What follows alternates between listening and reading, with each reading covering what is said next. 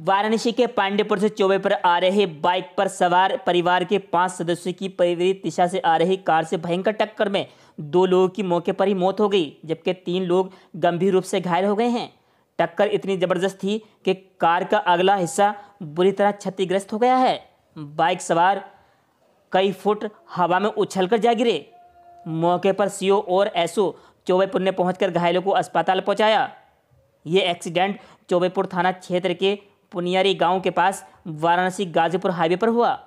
आपको बता दें, इस संबंध में प्रत्यादर्शी अनिल कुमार ने बताया कि एक बाइक पर पाँच लोग सवार थे और उसी समय विपरीत दिशा से आ रही तेज रफ्तार कार से बाइक की टक्कर हो गई, जिसमें तीन लोगों की मौके पर ही मौत हो गई। मौके पर पहुँची पुलिस ने घर को अस्पताल भेजा है, जिसमें सभी की हालत गंभीर बनी हुई है। वहीं इस संबंध में मौके पर पहुँचे सीओ सुरेंद्र नाथ यादव ने बताया कि एक बाइक पर पहाड़ियाँ के रहने वाले आशीष अपने परिवार के साथ चौबेपुर आ रहे थे।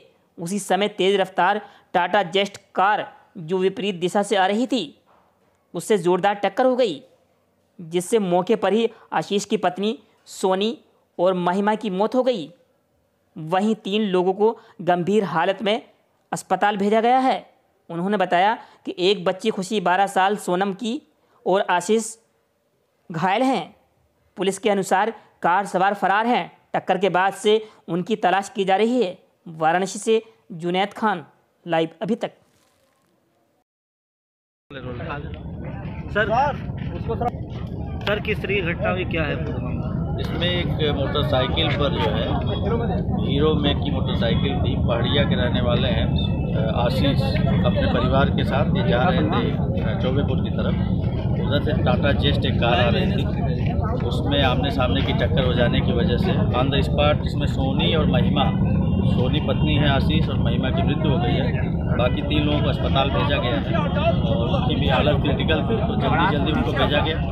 अब फॉलोअप किया जा रहा है। गाड़ी उल्टे लेन से आ रही थी जो कार है वो गाजीपुर की तरफ़ से उल्टे लेन से आ रही थी। अब ये चूँकि पीएनसी का प्रोजेक्ट चल रहा है इसके इस पर भी मैं देखता हूँ कि किस वजह से ये एक ही लेन चल रहा था। इस पर आगे हम जाँच करेंगे। सर जो ये घायल हुआ उसमें बच्चे भी हैं बिल्कुल एक बच्ची है सोनी नाम की है सॉरी खुशी।